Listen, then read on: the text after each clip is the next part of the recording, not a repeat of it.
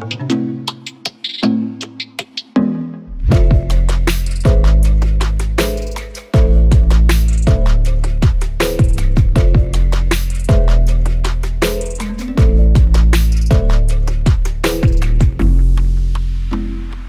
church, hope you're having a great weekend there in Florida and hope you had a fantastic Christmas with your family and friends. We are here in New York City just days before New Year's Eve. Yeah, and it is freezing up here. I am so glad that we live in South Florida and we can't wait to get back home to all of you. Yeah, we're here in Times Square where in a couple of days, city officials expect 1 million people are going to gather to watch the ball drop, which really isn't a ball at all. It's this contraption covered with thousands of crystals and LED lights that doesn't really even drop. It more slides down a, a flagpole really slowly. But anyway, a million people are going to be gathering right here behind us to see that happen and bring in the new year. This place has become a modern day phenomenon that symbolizes all that New Year's Eve has come to represent, saying goodbye to the old and welcoming the new in with open arms. And as the clock gets closer to midnight, the anticipation will be palpable. I can't even imagine a more vivid image of expectation than this iconic scene. There's nothing like the thrill of expectation when you know that something new is getting ready to happen. New comes with this promise of potential, like the day new parents bring their baby home with them for the first time, or the day you start a new job or a new year at school the potential of what can be is invigorating. Yeah, and it is the same feeling we get at this time of the year. The new year carries with it the potential for things to be different, a time for a fresh start, the potential of dreaming some new dreams, new opportunities that are going to open up, for things not to remain the way that they've been. And most of us are looking to this new year with some measure of expectation. You know, it's really different for all of us, maybe depending on what happened last year. For some of us, we might be afraid to have too high of expectations because we've been disappointed in the past. Things we thought would have happened or changed by now, they haven't. And so we've almost given up hope of that they will ever change.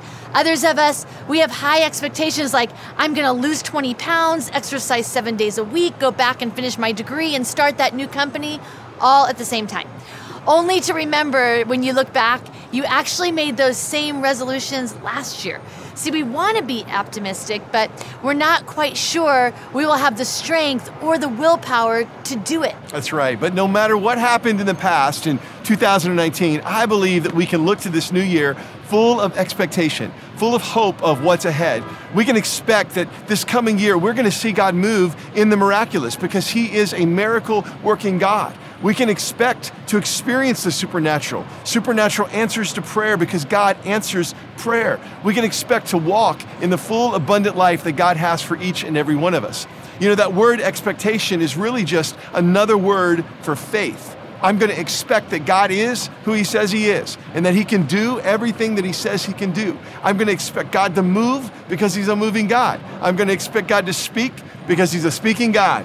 You know, Hebrews chapter 11, verse 1 declares that faith is being sure of what we hope for and certain of what we do not see. That's really a clear definition of expectation. But how many of you know that there's a time of waiting embedded within expectation? In fact, you really can't have expectation without having to wait for something. Waiting is a significant part of expectation. And what you do in the wait matters. What you do in the time before you experience what you're hoping for will make all the difference in this coming year. That's right. There's a story in the Bible that takes place just weeks after the birth of Jesus. This story captures the essence of expectation. It was 40 days after Jesus was born, and it was time to present Jesus at the temple. The Jewish law required the firstborn male was to be redeemed by a sacrifice of two doves or two pigeons. So think about it for a minute. The Redeemer of the world being redeemed by two birds, a sacrifice being made for the one who would become the final atoning sacrifice for all mankind. It's kind of ironic. Yeah, and on this day, Mary and Joseph, they take the baby Jesus up to Jerusalem to the temple to be presented. We read about a man of God. His name is Simeon, and most likely he's the priest in that temple. And it says this in Luke chapter 2, verse 25. Now there was a man in Jerusalem called Simeon. He was righteous and devout He was waiting for the consolation of Israel, and the Holy Spirit was on him. It had been revealed to him by the Holy Spirit that he would not die before he had seen the Lord's Messiah. Moved by the Spirit, he went into the temple courts. When the parents brought the child Jesus to do for him what the custom of the law required, Simeon took him in his arms and praised God. Let me stop there. Simeon's name actually means he who hears. Isn't that a great name? I mean, don't you want that to be said about you? That you are one who hears God? When God says move, you move. Well, Simeon did this. He heard God speak, and God told him that he would not die before he actually saw the Messiah. And we don't know how many years that he had been waiting, how many decades that he was expecting this moment. But that day was the day that he was waiting for his entire life. That's right. And a few verses down, it says this in verse 36 There also was a very old prophet, a widow named Anna, daughter of Phanuel of the tribe of Asher. Notice it says that she was a prophet. That just means one who speaks or declares the word of the Lord. So if anyone ever wonders, can a woman declare or preach or speak the word of the Lord? Right here, Anna is a prophet speaking, and right here is Julie speaking and declaring the word of the Lord. Let me just get that out. All right. Goes on to say, right here, she had been married for only seven years and was now 84 years old. She never left the temple day and night. She worshiped God, fasting and praying. She came along just as Simeon was talking with Mary and Joseph, and she began praising God. What we learn in this passage is Simeon and Anna had been waiting for this coming Messiah for decades. They had been showing up at the temple day after day, looking for the promise of the one who would come to bring hope and redemption to the world. That word waiting is not a passive word. It doesn't just mean sitting around staring at the wall. The word in the original language means eagerly anticipating something, remaining in a state of expectancy. So they were eagerly expecting the Messiah, the one who would push back the darkness, the one who would come and change everything. So think about it. Every day they came to this temple thinking, this could be the day. This could be the moment. I know we didn't see anything change yesterday or last week or even last year, but today is a new day. And maybe you felt nothing has changed in your life day after day. And you're thinking this new year is just going to be more of the same. Listen, Anna and Simeon had every reason to feel the same way. It had been 700 years since Isaiah the prophet had foretold of a coming Messiah. So everybody had been waiting 700 years. And, and, during the last 400 years, there had been no fresh word from God through the prophets, nothing. It was referred to as the 400 years of silence. Silence. Nothing. No fresh word of encouragement to keep believing. No hang in there from the man of God for 400 years. But when Jesus came, he broke that silence. But that didn't mean that we would never have to wait for anything ever again. All of us have been through seasons of waiting where it seems like God has gone silent once again. Have you ever been there? Maybe you're there today, like Todd said. Let me remind you just because God seems silent he is not ignoring you. See, there's a fine line between silence and a whisper. God uses so many methods to communicate with his children. For Moses, it was a burning bush. Noah got a rainbow. Samuel, he got the audible voice. But in the Old Testament, there's this story about a prophet named Elijah who was desperately crying out to God for an answer. And he was looking and expecting day after day for God to speak. And in 1 Kings, in chapter 19, verse 11, it says this As Elijah stood there, the Lord passed by, and a mighty windstorm hit the mountain. It was such a terrible blast that the rocks were torn loose, but the Lord was not in the wind. After the wind, there was this earthquake, but the Lord was not in the earthquake. And after the earthquake, there was a fire, but the Lord was not even in the fire. And after the fire, there was the sound of a gentle whisper. I wonder why God chose a whisper. I wonder why he didn't just communicate in one of the more obvious methods that he usually uses. You know, when you think about it, whispers are shared with people that you know and that you love, right? I mean, it would be really weird if a stranger came up to you and started whispering in your ear. You'd probably push him away or something. But but when Todd comes and whispers in my ear, I kind of pull him close, right? In fact, you have to get close to hear a whisper. In James chapter 4 verse 8 it says to come close to God and God will come close to you. This story in 1 Kings is really frustrating to me because it tells me that God is a soft talker. And I have a habit of ignoring soft talkers. I mean, I don't mean to, but I can't help it. See, I'm totally deaf in my left ear. So there are so many times that I can't hear what's being said. I just smile and nod and, and I hope that it wasn't a question or something really inappropriate. I mean, who knows how many conversations that I've misunderstood or how many people thought that I was ignoring them when I just couldn't hear them. See, hearing, it doesn't come naturally to me. I have to work at it. When we go out to dinner, I will take someone out to get that left back corner booth just so I can hear. I have to put myself in a position to hear. Sometimes I have to fight for my positions.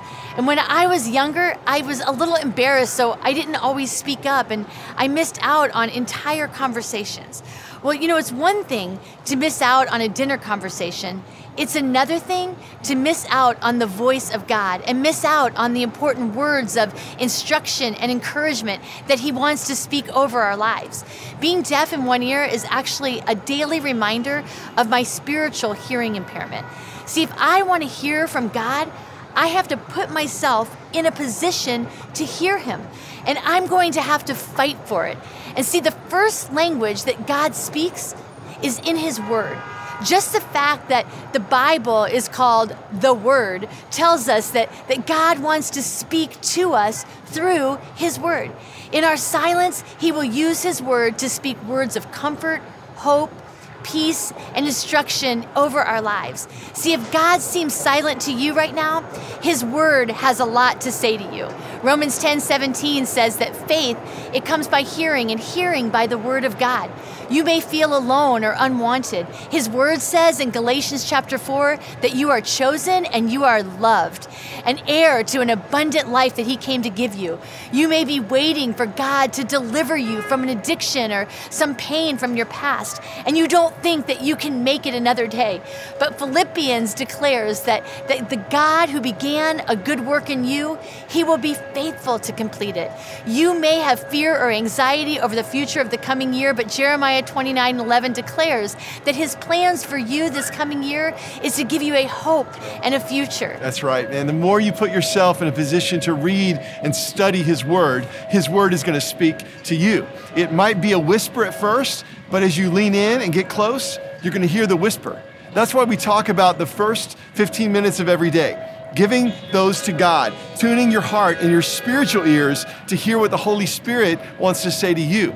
God's going to speak through His Word and He's going to speak through His Holy Spirit, guiding us through life and with life's decisions, prompting us where we need to go. It's said in that passage that Simeon was moved by the Spirit to go to the temple, and then he moved in the direction of God. He moved in the direction of Jesus when Jesus showed up, and that movement brought him into the presence of his Creator. See, when you are in the Word every day, praying every day, you are moving to where Jesus is. You're putting yourself, like Julie said, in that left corner booth seat so that you're in a position to hear what God wants to say. When I think of the story of Simeon and Anna, they positioned themselves to hear God. Even in the years of silence, they put themselves in a place to hear what God was wanting to say. It says that they were at the temple in worship and prayer. They were drawing close. They were putting themselves in a place to experience God. Here's what I know expectation requires preparation. Let me say that again. Expectation requires preparation. If they had not been prepared, they would have missed it. If they had not been looking for and preparing for the day when the promise of God would come, they would have missed out on the promise of God. Expectation requires preparation. See, when a mom is expecting, getting ready to have a baby, that expectation requires preparation. I remember when Julie was pregnant with our son Jefferson, we were constantly preparing and cleaning and getting the house ready for his arrival, putting together changing tables and buying diapers and yeah. more importantly the diaper genie, thank God for that thing. Our expectation of our son that was on the way required preparation. It was requiring us to get ready for this new human that would soon be invading every part of our lives, right? And in the same way, if you're expecting God to invade your life and do something new in you this coming season, to do something new in your family, maybe open up some doors that have been closed, you got to prepare for it. You've got to get ready for the new thing God is getting ready to do in you. And it says in 1 Corinthians 2 9, no eye has seen, no ear has heard, no mind can even imagine what God has in store for those who love Him. Think about it. If no eye has seen it, and no ear has ever heard it, and no mind has even imagined it, it'd be easy to miss it. So we got to get ready. You've got to prepare for the new thing God is getting ready to do this coming year. So, what does that mean? How do I prepare myself, Todd? Like Anna and Simeon, think about it, they position themselves to see and to hear God. Every day they moved in the direction of God. That's not hard. We can do that. We can make the decision that every day I'm going to spend time with God in His Word. I'm going to spend time with God in prayer. And by doing so, I'm tuning my spiritual ears to hear Him. I'm focusing my spiritual eyes to see Him and the new thing that He's getting ready to do. If I'm moving towards God, it means there are also some things I've got to move away from. I can't move towards God without having to leave some other things behind. I want you to hear the story of a young man we met here in New York City years ago and what he did to move towards God. When I moved to New York, you know, it's, it was a different life. Had to get acclimated to life in a big city. Um, was still going to church. Um, when I left college, um, I met someone. She was not a Christian. I guess I think I could probably bring her into church with me. After dating for a little bit, she wanted to get married. I thought this was going to be awesome, like it's going to be great, and we're going to have a family. But the opposite was true. Things just started to go downhill. My life started to spiral into chaos. Depression is something I never knew, but I started to become depressed. One evening, I think maybe about two or three months have passed now, and um, we were still separated. And um, I got a text message from a friend of mine that she was pregnant. It wasn't mine. I just thinking about it now, my, my mind just like, because I wanted to have a family. And um, she didn't want to. I came out one evening and I got into my car. I was like, I had like a panic attack or something, and I was just crying uncontrollably because I was like, how, you know, how could this happen to me? Um, I felt like I was gonna just take my life. It was a intersection like this, and I was just distraught, and um, I really didn't know what to do, and um, just crying. And I just said, you know what? I'm just gonna drive right into that wall. Nobody would ever miss me or anything. Um, and that's how much I was hurting. That's when I, you know, the Lord spoke to me, told me that's not that's not the plan he had. Um, his plan was much better and greater than what I was planning to do. So, whenever I felt like I didn't know what to do, I knew where to go. I needed to go to church, and I went to church. Got myself totally immersed into church, and, and I met Todd and Julie, who were there greeting people you know, and they were kind and they were welcoming. And he said, Welcome home. And for me, I did not consider anywhere home. And that resonated with me. And I started to attend. A big part of depression, if no one knows, is feeling hopeless. But over time, my hope was renewed. God renewed my hope. Some of the ways that I started to deal with this depression state that I was in is I started to feed my spirit um, I would listen to a lot of sermons online. I would read my Bible more. I would pray and really just going to church and not just going once, but going back and going back, keep going back, uh, just showing up. I didn't hang out, you know, with the friends I used to hang out with, and there was more joy. I started to feel more joy just hanging out with people of God. It felt like I belonged. I did not think about, oh, I have to find my identity in a relationship or find my identity in anything else. And because I wasn't even looking for that, God provided that for me. Something I didn't think I would ever do again, which is get married. And, you know, not only that, but He's blessed me with a son. And it's the most amazing feeling ever. So God had a different plan for my life, and He restored me. He did this by placing people in my life that I can count on and that hold me accountable and um, that I can do life with, and um, creating an environment where I could thrive. And that's the life I'm living now.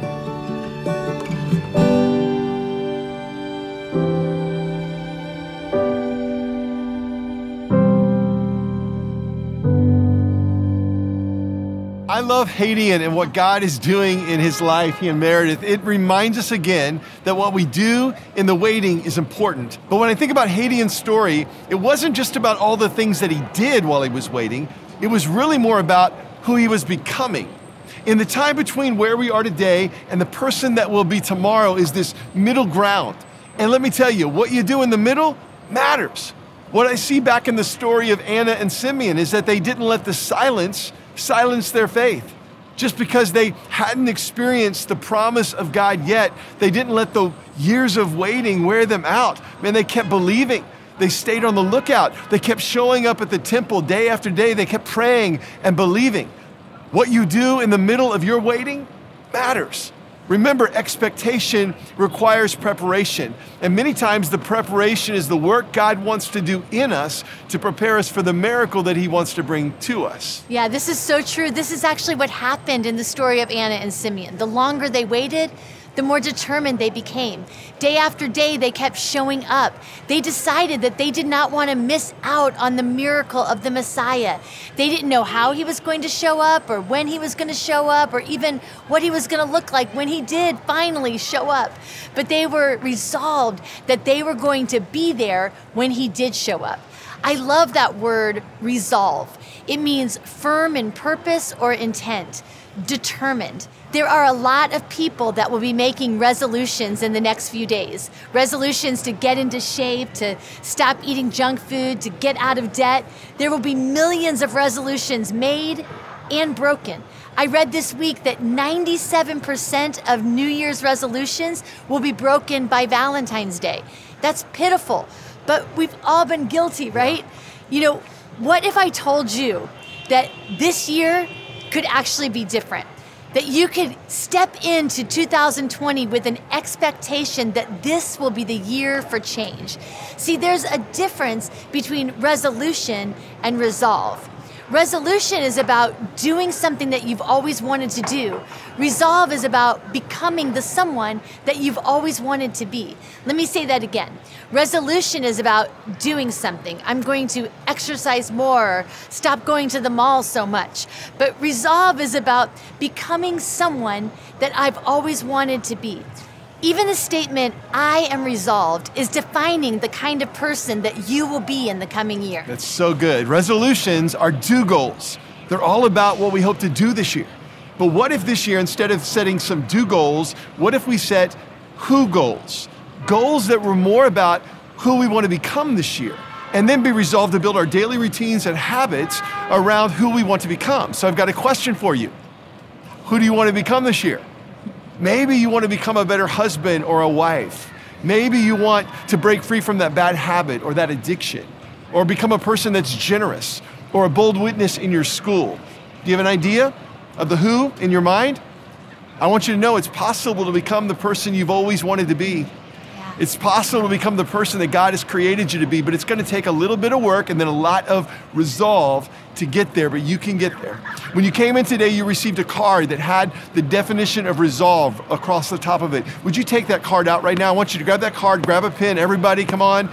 Get it out, Yeah. sir, on the No third slacking. row. I want No you to pull it out. It's only your future we're talking about. That's right, okay? And I want you to write down the who the kind of person that you want to become this year. I want you to write that down. What words would you use to describe that right there on your postcard? And it's important to write it down because when you have a clear vision of who you want to become, then you can focus on what you need to do to get there. Let me say that again because I know you're busy starting to write some things down on your postcard. When you have a clear vision of who you want to become, then you can focus on what you need to do to get there. The do flows out of the who. Yeah. Hashtag tweet that. You know, in a couple of minutes, your campus pastor is going to give you some time to fill out the rest of your card. But I want you to think about something. Now that you have a clear picture of who you want to become, what are some things that you need to do every day and every week to get there? If you said that you want to be a bold witness for Christ in your school, you will need to pray for God to give you courage every day. And it would be great for you to, to get a mentor or maybe every week to get to student ministries so that you can be surrounded by people who are going to call you up and cheer you on. Maybe you, you said that you wanted to be a leader that leads with integrity, a giver who is ridiculously generous, or maybe you want to be a better spouse or a present parent.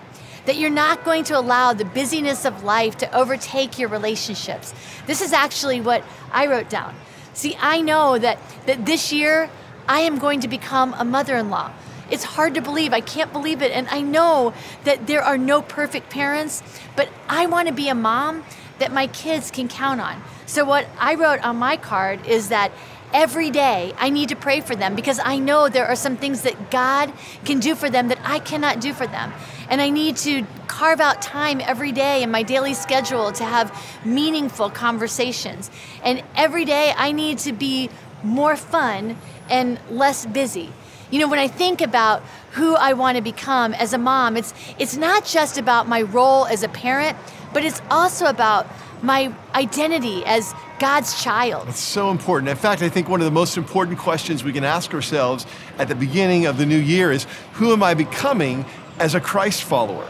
Is my faith stronger today than it was a year ago? Am I living a life that attracts people to Jesus? So, this is what I want you to do on the bottom half of your card that we gave you. Write down who you want to be as a follower of Christ this year. You might say, I want to know His Word more. I want to understand Scripture. I want to experience spiritual freedom like never before. I, I want to share my God story with other people at work.